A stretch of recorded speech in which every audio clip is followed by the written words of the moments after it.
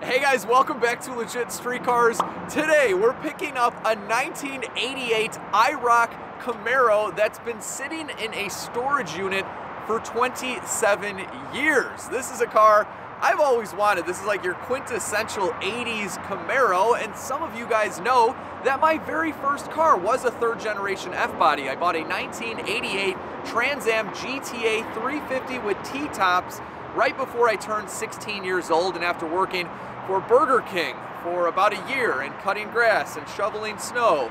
Anything I could do to get my hands on $3,550. That's what I paid for my Trans Am. But today we're gonna pay a little bit less for this Camaro. We're towing it with the supercharged Cadillac Escalade. We got our U-Haul trailer. That's about as much of an intro as you need. So if you're into videos that just get going and get right to work, give this video a like and don't forget, subscribe to the channel. Dude, I don't like that sound. Something is bouncing back there. I don't know if that's chains. That sounds like something's coming loose.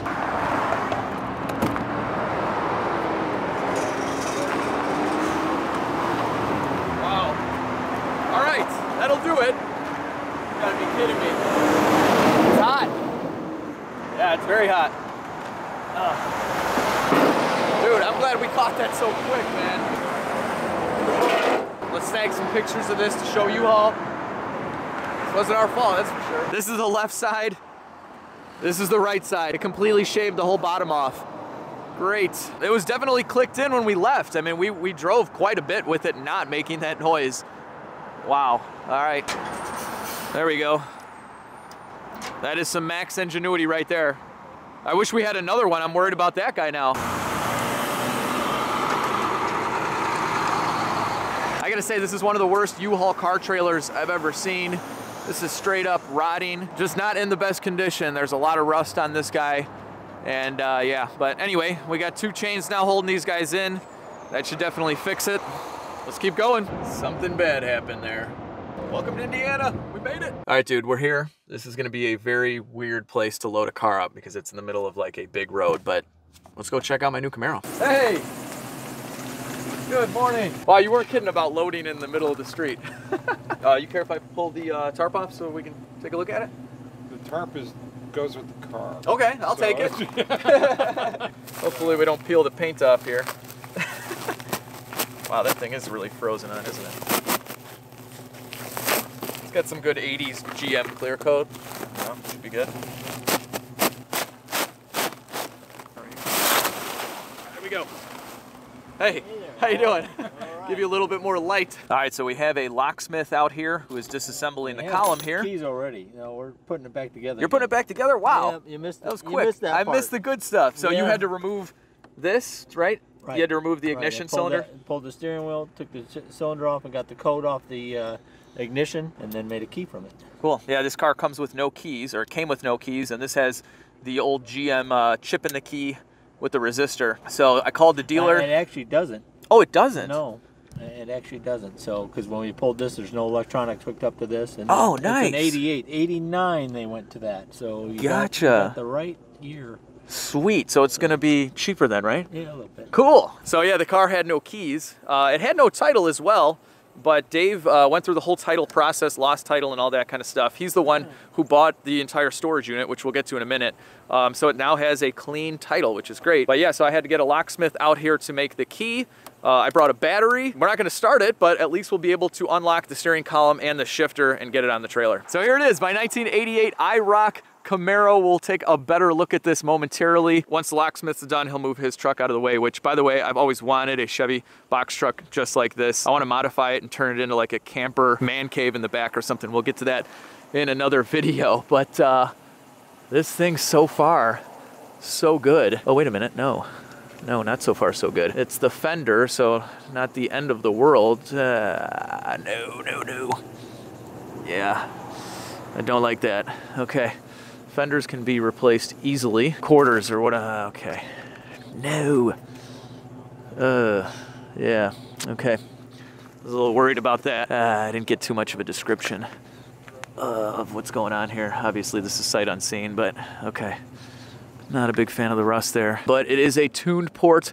IROC, this does have the 305. It doesn't have the 350, unfortunately. If you guys were around for the Trans Am videos where I had a mouse in the LT1 Trans Am. We might have it. Yeah, we definitely have had mice in this thing too. Great, great, great, great. This quarter doesn't look rotted, so that's nice. Oh wow, there's a straight up hole in the door. That's not good. Yeah, I, I thought it had very minimal rust like what you showed me underneath.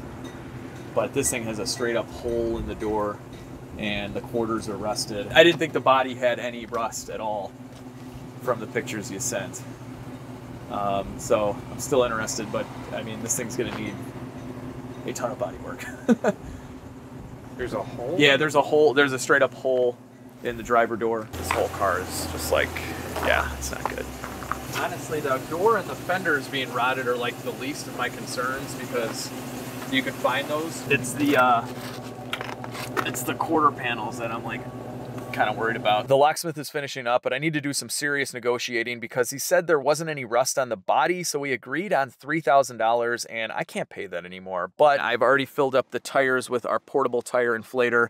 Max is editing a video and I'm charging a bunch of stuff with the Fanttik Evo 300. Guys, I'm totally geeking out about this. I've been tested it now for a few weeks and it is absolutely amazing. So this is a portable power station that's super light, but that can handle charging and powering pretty much everything you're bringing with on a road trip, a camping trip, a picking up an 88 Camaro trip. So it has a total of nine DC and AC outlets, a massive 299 watt hour battery capacity, and 300 watt AC power. This large LCD screen is so cool. It'll give you the watt hours and the amount of time left you have so you know when you're gonna run out of charge. And when you do, it only takes two and a half hours to fully charge this if you plug it into a wall. But my favorite part is that you can hook up a Fanttik solar panel right here. Here it is, the Evo Solar 100 Super Light super portable and in full sun this will charge your evo 300 in about three to five hours. So this is what the evo 100 looks like and it's connected to the evo 300 right now. This thing you can put anywhere on a campsite or whatever. So if you're doing off the grid living if you have an rv a camper or a box truck that you really want to convert into some kind of camper this is huge. And what i love is it is a pass-through. So you can be charging with the solar panel and have that connected to a bunch of devices. So you can use this all day long. And basically if you're like a weekend warrior, camper, off the grid type of guy, instead of having like six batteries and an inverter and all sorts of complication, you have everything in this tiny little package. Best part is I'm gonna leave you a special link and coupon code in the description box and comments section that will get you $67 off the Evo 300 power station and $44 off the Evo 100 solar panel. And with that, let's continue on with my Camaro. Can we work on that price? Because this is, uh, I mean, buying a clean body one that doesn't run and that already has a lot of question marks, I don't think it's worth three grand with the rusted body. Once we lift it up, I'm just worried the floors are going to be rusted too. And there's mice in the interior. There used to be mice. There used to be mice. They've all they've all frozen to death right now. But so I don't know. I'm just I know we'd said three, but the body on this is bad. Um, God, I mean, Give me a number. I mean, could you do fifteen hundred for it? I mean, it's probably all it's worth, honestly. People will probably yell at me for paying that, but If I see a video where you sold it for 15 grand, I'm not gonna sell it for. Fi- the only way I'm selling it for fifteen grand is if I put like 12 grand. 12 into grand it. into into body. No, no, I don't know. I mean, yeah, if this car was stripped down and all the metal was repaired and there's no holes in the floor, it could be worth fifteen thousand dollars in perfect condition. You know, but Yeah. uh, yeah, this is After you, and if you took this and did $10,000. right. it- I don't do it, body work, so like if you drop this off at a body shop and handed them a check for ten grand for a quality paint job and everything, then yeah, it could be worth 15. But being a 305 hardtop with rust and who knows what the floor looks like and who knows if they parked it with a blown engine in 1995, like there's just a lot of question marks. I still love it and it's cool. I just don't. I think 1500 is probably just a fair price for it. Okay, I will trust you. Okay. I appreciate that. And I've told you I know nothing about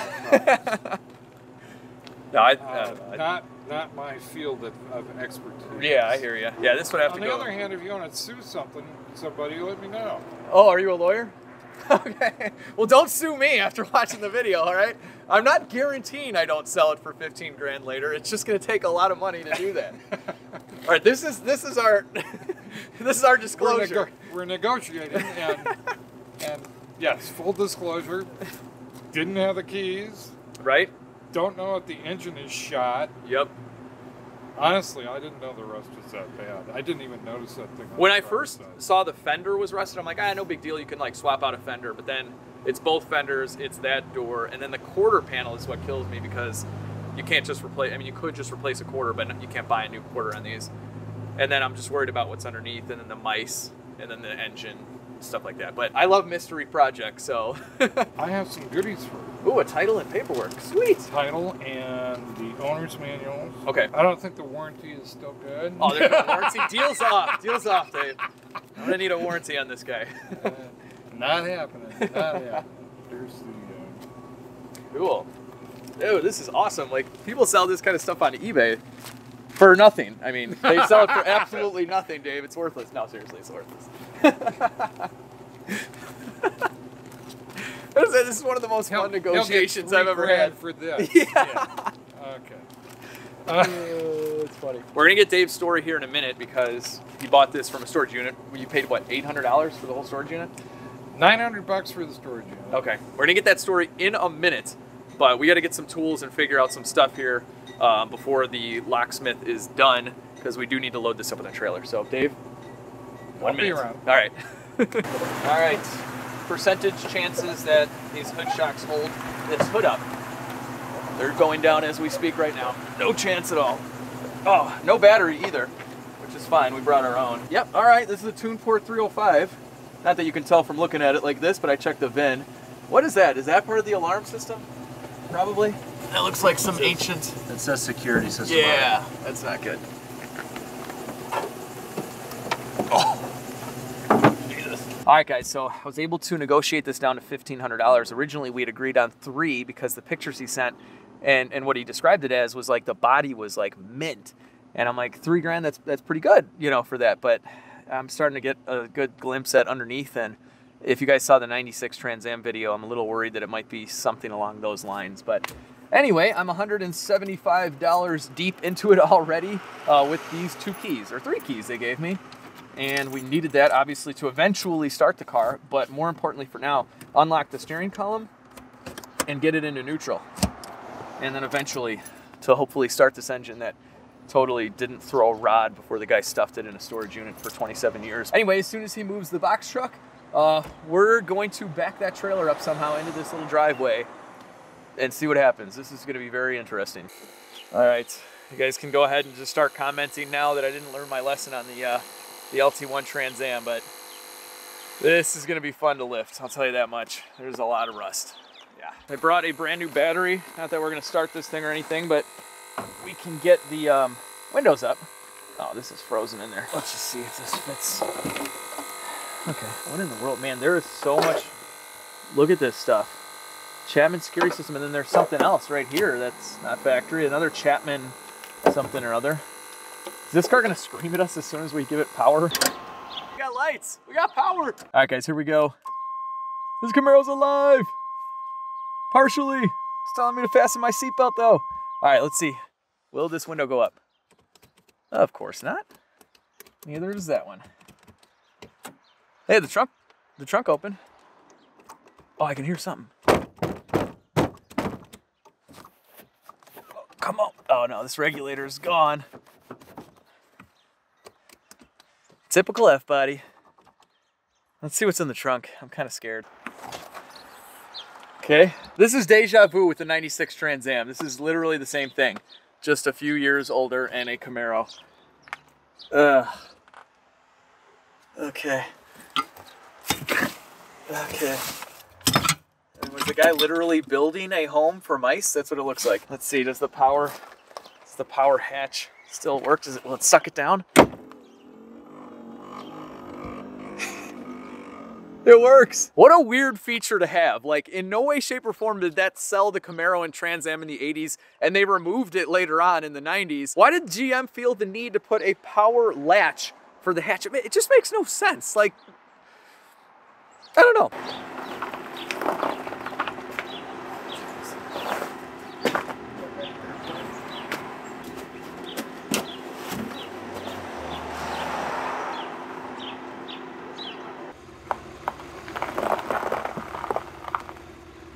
Yeah. All right, so I just wanted to see if we could break free the brakes because Max and I are really having no luck. Can't talk, it's cold. uh, pushing this thing, so maybe that helped us out. I don't know. We're gonna try again. Here we go. Ready?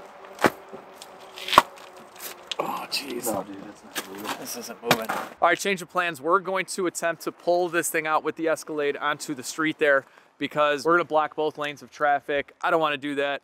So if we can pull it right there, uh, you know, we'll have a little bit more room and time. And then maybe the brakes will slightly unlock, so maybe we can push this thing. I don't know.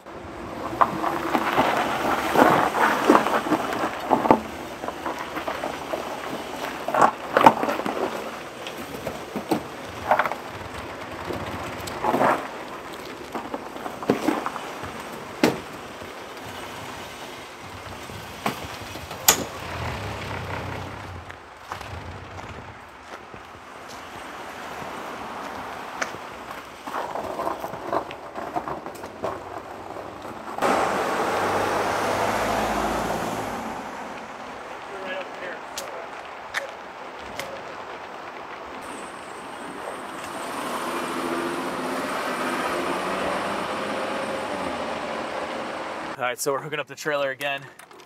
It rolled. It's right over there. So hopefully the brakes are a little bit more free now. All right, guys, here's the setup. We're gonna try and manually get this thing on the trailer. Moment of truth, can I pull a Camaro with my arms? I'm that strong. I'm that strong, people. The only problem is once we get your cable all the way to the ratchet, how are we going to restrap this to the ratchet without this rolling off the trailer? Oh, you're gonna stand behind it and Oh. catch the car. Excellent. Yeah. All right, so we're about to destroy the bumper, so I just jacked up the car on this side, so now we have some bumper clearance, and we just have to get this tire on the ramp, and we should be good. Okay, we're clear now. We got tires are on, so let's get the jack out of here.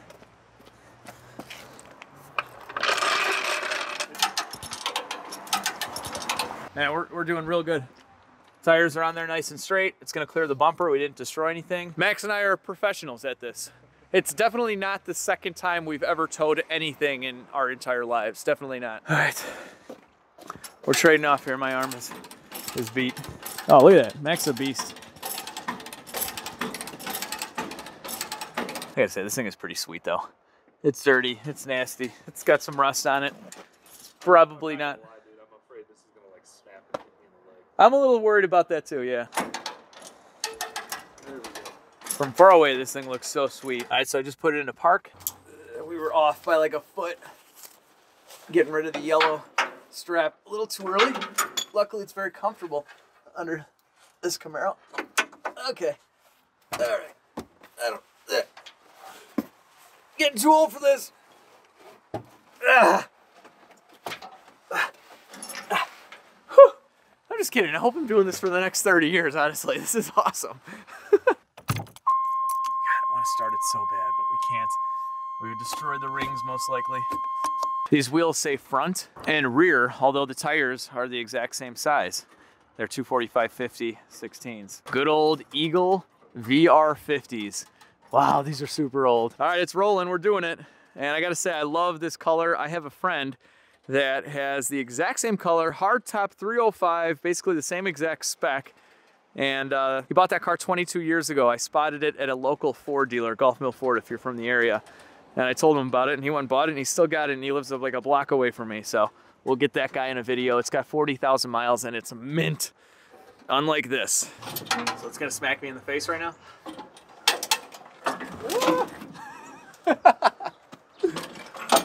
All right, are we home free? All right, we got the Camaro all loaded up, ready to go.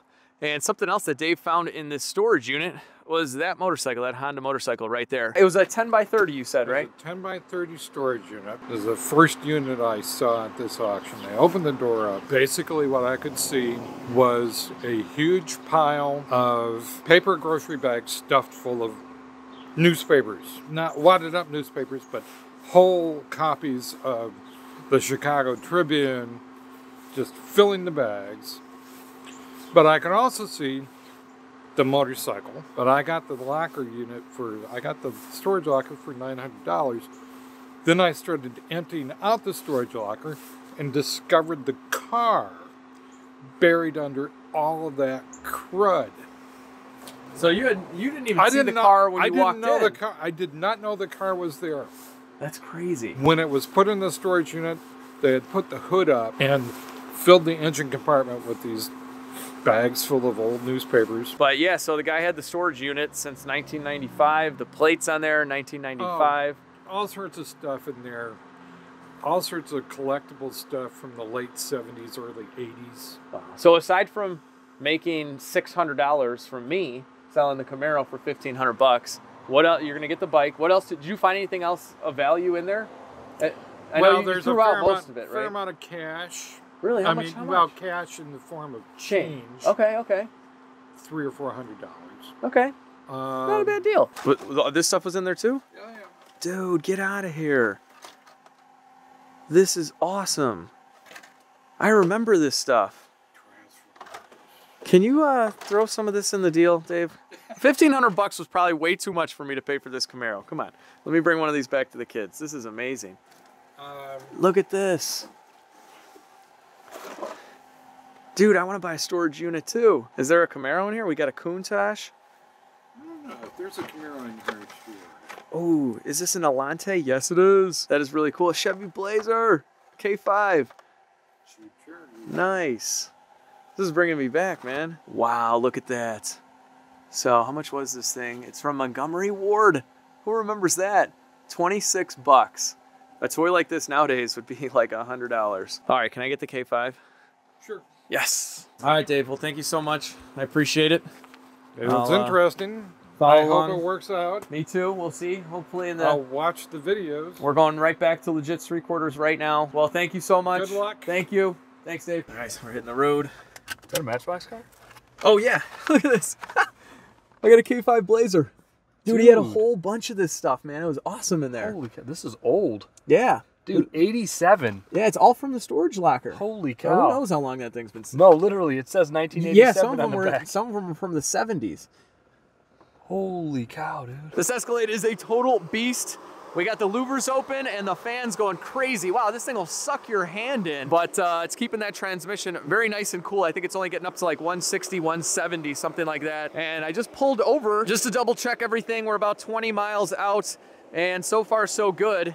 And I actually believe that this is one of the storage units, I'm not sure which one, uh, that he bought it at. He said it was about 20 miles from here and it was a big place. And this very well could have been where this Camaro was fished out. So anyway, Camaro is looking good. Trailer is looking horrible. This is probably the worst U-Haul trailer I've ever gotten. Um, but let's go to legit three quarters. We gotta move this thing around. We'll pop it up on the lift and see exactly what I got myself into. All right, guys, so trans temp is at 180, but look at the engine temperature. It's not even registering, and we've been on the road for like 40 minutes or something. When we were driving here without the car in the trailer, it was just at normal operating temperature, and now it's way, way below. We're still getting heat in the truck, but a little weird, not gonna lie. I wonder if we're gonna get a check engine light for a thermostat issue where it's just stuck open. All right, so we got the Camaro back at legit three quarters, and I'm going to attempt, keyword attempt, to back up the trailer into my shop here. But first, we gotta move some of the fleet around.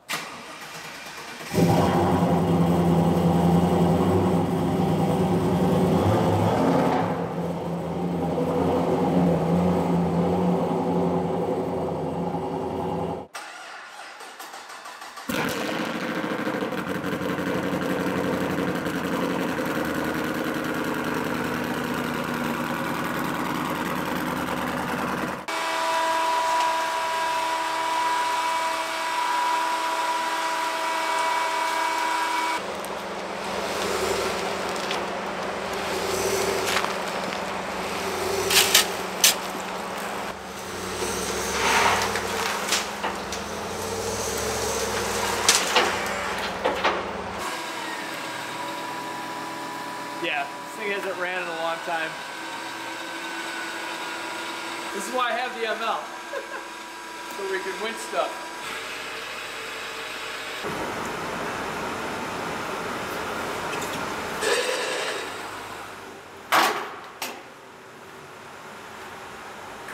I got, I got some grease.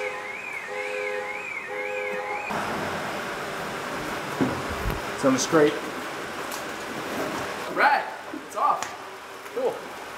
Thank you, ML. All right, guys, so it's a couple of days later, and uh, this Camaro won't move. It won't budge at all.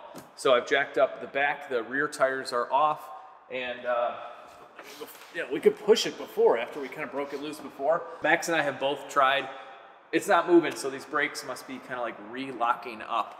Um, so yeah, we could winch it again with the ML, but the battery's dead. I want to try the Lightning.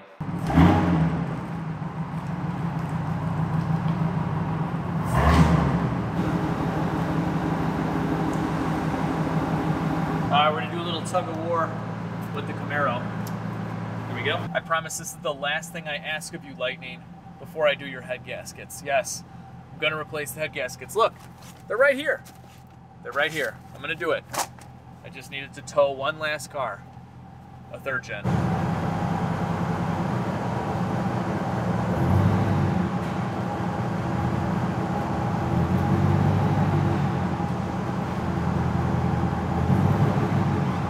lightning brought us closer, but we have to winch it the rest of the way using a lift. Totally does not void the warranty on your BendPak lifts. This is totally fine. Ran out of slack, so we're attached to that one now. And I mean, this thing is just grinding to a halt every time. It's weird because we did push this at one point. Yeah. I don't get it. All right, now for some reason it'll move a little bit. See that? We're pushing it. Awesome. All right, this is about as good as we could get it. So it's lined up pretty well. It's just everything under there is rusted. All the jacking points where they've jacked it up a million times are kind of smushed in. So we might hear some crunching noise. Let's do it. Ugh.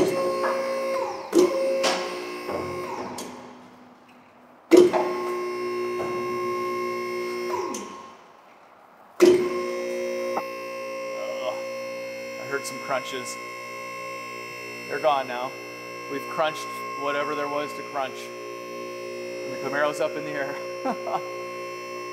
oh, I'm scared, guys. This is going to be worse than the LT1 Trans Am. Very well could be. Why do I keep doing this? All right, the Camaro is safely up on the lift. So, first things first. Okay, yep, that's why we couldn't push this thing. The front right wheel is locked. This one is locked also. And let's see, it's got drums in the rear. This is what I would have assumed. Wow, are you serious? These are fine. These are both fine. It's the fronts. So just frozen from sitting. Um, so anyway, let's, uh, let's start this inspection. And uh, right off the bat, we have literal rust holes. Wow. This entire, this is horrible. Oh, geez. Okay. Not starting off, not starting off well, that's for sure. The frame structure seems to be intact. That's good. But uh, this car is a pile. This thing is a total pile. Oh man, this might be worse than the Firebird. Wow.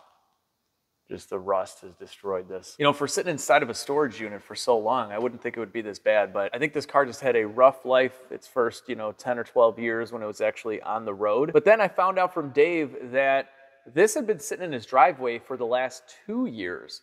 So I didn't understand that when I bought it. I thought he had just plucked this thing out of the storage unit like two months ago, and then he had to deal with the title issues and stuff. Right when I was leaving, he's telling me the story about how long it took him with the attorney to, uh, to get the title. I'm literally ripping pieces of the car off as we speak. Um, and he said it took two years. So I'm like, wait a minute, two years? And yeah, it turns out he's had this car for two years in his driveway. Now, that's not going to cause all of this just sitting there. It definitely didn't help, but this car was probably really rough when it went into the storage unit, and it's even more rough now. So the LT1 Trans Am had literal holes in these areas here. So this one is better in that sense, but I mean, realistically, it, it might as well have a hole here. Like, you wouldn't want to leave this alone. Let's see here. Yeah, I mean, this is just bad. This is really bad. All the floors would have to be replaced if you were doing any kind of real restoration on this car. But I can push this with my thumb. So I bet you if we took a screwdriver, we can go right through, right through the floors. So let's get the factory catalytic converter. I'm gonna go ahead and assume this 200-ish horsepower 305 is totally stock. And what do we have going on here? The motor is relatively dry. Might be completely empty on oil, but those are just minor details. Um, and uh, let's see, the subframe is intact. I guess that's good. These brakes are just rock solid. So it would need pads, rotors, calipers, everything, probably hoses. And I mean, everything's there. It's intact. I don't suspect it was wrecked or anything. All these brackets look factory. But I mean, just everything is rusted. Yeah, great. Another weak spot is right here where the shocks kind of mounted into the body of the car. This is all rusted. This is very weak. So the structure here is probably compromised and uh, wouldn't want to hit too big of a pothole with this car. But yeah, fender is no big deal. Doors, eh, we can fix it. Quarters, okay, that can be done too. But the overall structure, all the floors, everything on this Camaro, I mean, this would need a frame off restoration. Everything is just shot. And there you have it, my 1988 IROC Camaro, or at least what's left of it. It looks pretty darn good from here, but uh, yeah, pictures can be deceiving, and I'm not gonna lie, I'm pretty disappointed right now. So I went into this very excited to get a really nice third gen. So it was described to me, pictures were sent, which you just can never go off the pictures, guys. Um, but it was described as a rust-free car. He had taken some pictures underneath of just like the pinch welds, and I saw a little bit of rust. I'm like, no big deal. Um, but this thing is shot. So I just really wanted another third gen. And I, I love the IROCs. I love this color. I love the wheels. I love everything about 80s F bodies. And uh, I was looking forward to doing a mechanical restoration, to working on a car that had been sitting for 25 or 27 years, whatever the math is.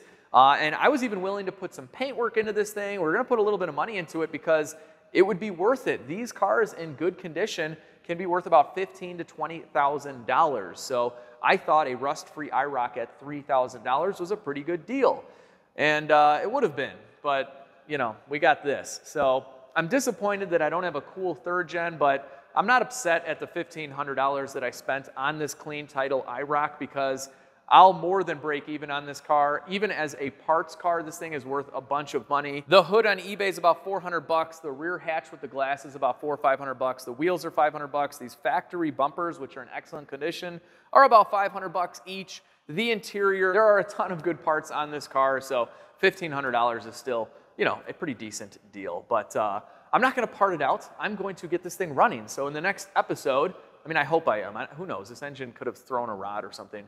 Um, but in the next episode, we're going to pull the plugs. We're going to borescope the cylinders. I'm assuming the engine's locked at the moment, so we're going to try and unlock it. We're going to try and fire it up. We're going to try and drive it. I want to enjoy my 88 Camaro before I do something with it. I don't know what that is yet. Let me know in the comments what would you do with this car. So with that, I hope you enjoyed this little Escalade Camaro picking up adventure. As much of a disappointment as the car is, I still had a ton of fun.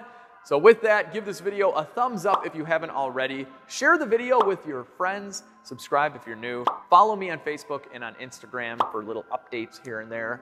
And most importantly, have an awesome day. I'll catch all of you in the next video.